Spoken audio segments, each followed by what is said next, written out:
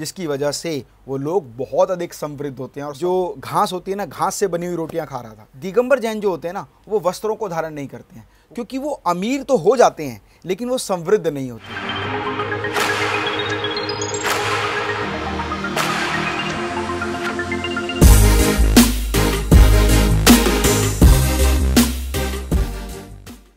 नमस्कार दोस्तों, मैं हूँ doctor Amit Maheshwari, business trainer, corporate trainer, motivational speaker and CEO Metas Overseas Limited आप सभी का स्वागत करता हूँ आज की इन्फॉर्मेटिव वीडियो में।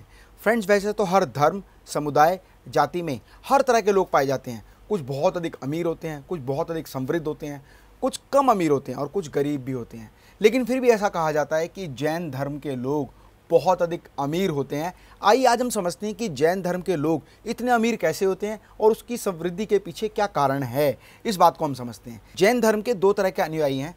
दिगंबर जैन और श्वेतांबर जैन। दिगंबर जैन जो होते हैं ना, वो वस्त्रों को धारण नहीं करते हैं। वो कहते हैं, दिग अंबर मतलब अंबर ही उनके लिए सब कुछ है, विशेष है, बड़ा है, और वही उनके लिए एक वस्त्र का काम करता है। ऐसी श्वेतांबर मतलब श्वेत अंबर, वो एक तरह से श्वेत वस्त्रों को धारण करते हैं, और दोनों ही मान्यताओं में जैन धर्म की मानवता के प्रति एक बहुत अधिक समर्पण है। इस बात को हम समझते हैं। जैन धर्म में ये कहते हैं अमीर। अमीर शब्द का अर्थ क्या है? लोकेश मुनि जो बहुत बड़े जैन धर्म के उपासक हुए और जो जैन मुनि हुए, उन्होंने एक बात कही थी कि अमीर शब्द जो है ना, वो अपने आप में एक विरोधाभास के ऊपर है। अमीर का मतलब ये नहीं है कि जिसके पास बहुत अधिक धन, दौलत है, पैसा है, शौहरत है, रुतबा है। अमीर शब्द का मतलब है एक व्यक्ति, उसको, जिसको अपनी ज़रूरत से ज़्यादा चीज़ें उपलब्ध होती हैं, वो अमीर है और वो लोग जिनके पास ज़रूरतें अधिक है लेकिन पैसा कम है, वो गरीब है।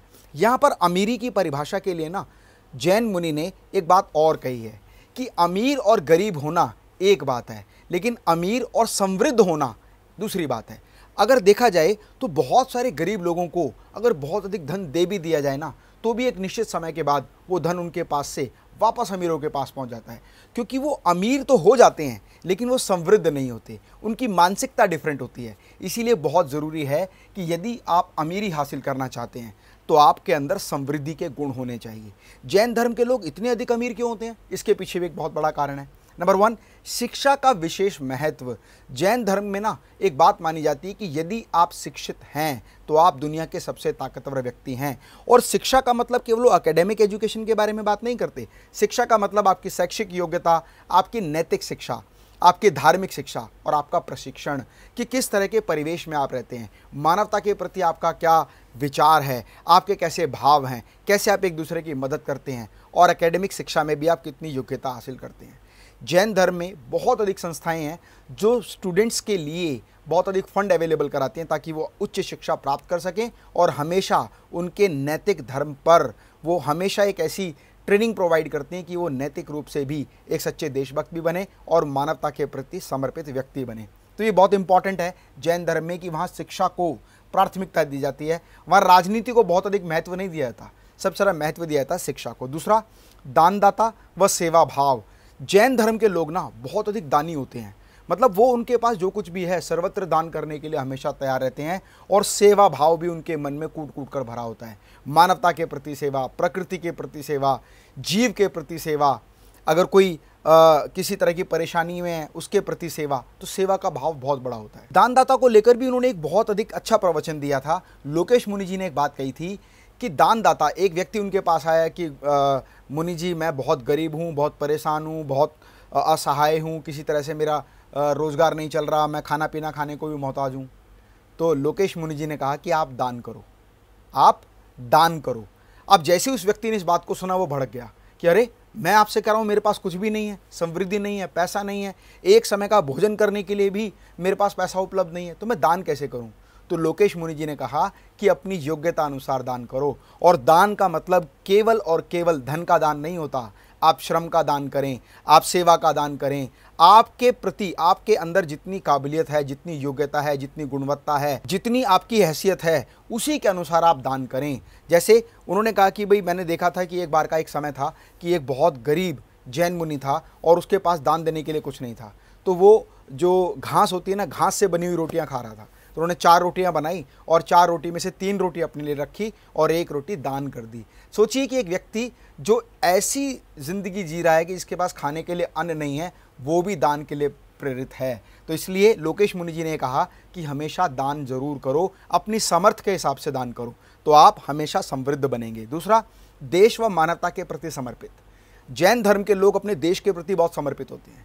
देश की आन बान और शान के लिए वो सब कुछ निछावर करने के लिए तैयार रहते हैं। बड़ी से बड़ी विपत्ति में भी ना वो देश की आर्थिक मदद भी करते हैं और एक तरह से आ, सेवा भाव के हिसाब से भी मदद करते हैं। तो ये बहुत बड़ा एक विशेष गुण होता है जैन धर्म के अंदर जिसकी वजह से वो लोग बहुत अधिक समृद्ध होते हैं और समृद्ध का मतलब ही एक अमीर व्यक्ति होता है।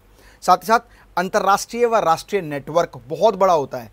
कहते हैं ना कि जैन समुदाय वैसे बहुत छोटा है लेकिन पूरे विश्व के हर देश में, हर राज्य में, हर गाँव, जिला, तालुका और एरिया में आपको जैन धर्म के लोग ज़रूर मिलेंगे। और हर व्यक्ति किसी ना किसी माध्यम से, चाहे वो किसी रिश्तेदारी के माध्यम से, संपर्क के माध्यम से या जैन धर्म के माध्यम से, एक दूसरे से व्यक्ति जुड़े होते हैं। इसीलिए कभी भी किसी व्यक्ति को कहीं भी ज़रूरत पड़ती है तो उसको मदद पहुँचाने के लिए जैन धर्म के लोग हमेशा तत्पर रहते हैं। और जैन धर्म के लोगों के लिए ही नहीं अपितु वो मानव सेवा के लिए भी हर तरह से एक नेटवर्क के रूप में काम करते हैं और उनकी मदद करने के लिए तैयार रहते हैं। सात्विक भोजन बहुत अधिक करते हैं। कहते हैं ना कि सात्विक भोजन का मतलब होता है कि शुद्ध भोजन, साफ़ भोजन, बहुत ज़्यादा गर्म तेज मसाले घी, तेल वगैरह कुछ नहीं, और प्रकृति को फॉलो करते हुए ही वो इस तरह का भोजन करते हैं। कहते हैं जैन धर्म के लोग जो होते हैं ना वो प्रकृति के नियमों का अनुकरण करते हैं। जैसे चिड़िया है तो उसको पता है कि सूर्य उदय से लेकर सूर्य अस्त तक ही भोजन करना होता है और उसके बाद वो सो जाती है। तो जल्दी उठना, जल्दी भोजन करना, शुद्ध, साफ़, शाकाहारी भोजन करना और नियमित रूप से इस बात को फॉलो करना कि वो सही समय से सोएँ और सूर्य अस्त से पहले ही अपना भोजन समाप्त कर लेना। इसके अलावा, व्यापार व कार्य के प्रति इसीलिए कहा जाता है कि प्रकृति की अनुकूलता के अनुसार जैन धर्म के लोग होते हैं। और जब आप फिजिकली फिट होंगे मेंटली फिट होंगे सोशली फिट होंगे, आध्यात्मिक रूप से आपका मन बहुत खुश होगा तो आप अपने काम में भी अपनी योग्यता का हंड्रेड परसेंट देने के लिए तैयार होंगे। आपने देखा होगा, कभी आप बहुत अधिक पेट भर के खाना खा लो, आपको पूरे दिन सुस्ती आएगी। जैन धर्म के लोग नियमित उतना ही भोजन लेते हैं, अल्प आहार लेते हैं, जिनसे उनका शरीर स्वस्थ रह सके। कहते हैं कि कुछ लोग अपने जीवन में खाने के लिए जीते हैं, लेकिन जैन धर्म के लोग जीने के लिए खाते हैं, अनिवार्य भोजन करते हैं। फाइन व्यापार व कार्य को विशेष स्थान देते हैं। उनके पूरे दिनचर्या में जो उनका पूजा पाठ के अलावा जो एक्स्ट्रा समय है, जो परफेक्ट समय है, वो पूरा का पूरा डेडिकेट करते हैं अपने बिज़नेस को, अपने प्रोफेशन को, अपने पैशन को, शिक्षा को, और जो भी चीज़ करते हैं, शत प्रतिशत योग्यता और काबिलियत को बढ़ाने के हिसाब से करते हैं। निरंतर अपनी काबिलियत में इजाफा करते रहते हैं, जिसकी वजह से जैन धर्म के लोग जो होते हैं ना वो बहुत अधिक समृद्ध हो जाते हैं। फ्रेंड्स किसी भी समाज की समृद्धि ना केवल इस बात पर निर्भर करती है, किसी भी धर्म की समृद्धि, किसी भी जाति, किसी भी समुदाय की जो समृद्धि है, वो इस बात पर निर्भर करती है कि आपके क्या सिद्धांत हैं, आप किस तरह के सिद्धांतों को फॉलो करते हैं, किस तरह के सिद्धांतों का अनुकरण करते हैं। तो जैन धर्म के जो सिद्धांत हैं, जो आज मैंने आपको बताए शिक्षा को विशेष महत्व, दान व सेवा भाव, देश व मानवता के प्रति समर्पित राष्ट्रीय व अंतर्राष्ट्रीय नेटवर्क सात्विक भोजन, प्राकृतिक अनुकूलता के हिसाब से काम करना और व्यापार और कार्य को विशेष स्थान देना। ये वो ऐसे गुण हैं जो कोई भी धर्म, कोई भी जाति, कोई भी कम्युनिटी जब अपने सैद्धांतिक रूप से इनका फॉलो करेगी तो वो भी समृद्ध हो जाएगी, अमीर हो जाएगी। इसीलिए जैन धर्म के लोग बहुत अधिक अमीर और समृद्ध होते हैं। यदि आप भी इन नियमों का अनुकरण अपने जीवन में करते हैं तो आप भी समृद्धि हासिल कर सकते हैं। दोस्तों, मेरा उद्देश्य किसी जाति, धर्म के प्रति कोई विशेष आकर्षण पैदा करना या आपको आकर्षित करना नहीं है। मेरा उद्देश्य कि हर धर्म, हर जाति, हर प्रथा के हिसाब से कौन कौन सी विशेषताएँ जिनसे आप चीज़ों को सीख सकते हैं, समझ सकते हैं और अपने जीवन में अमल करके आप भी आगे बढ़ सकते हैं। तो जैन धर्म से मैं बहुत अधिक प्रभावित हूँ, बहुत सारी चीज़ें अपने जीवन में मैं भी अनुकरित करता हूँ कि भाई कैसे मुझे आगे बढ़ना है और आप भी इसका अनुकरण अपने जीवन में करें। कोई भी प्रश्न यदि आपके मन में हो तो मुझे कमेंट बॉक्स में लिखकर ज़रूर बताएँ। स्वस्थ रहें, मस्त रहें। मैं डॉक्टर अमित माहेश्वरी, आपके सुनहरे भविष्य की कामना करता हूँ। जय हिंद, जय भारत।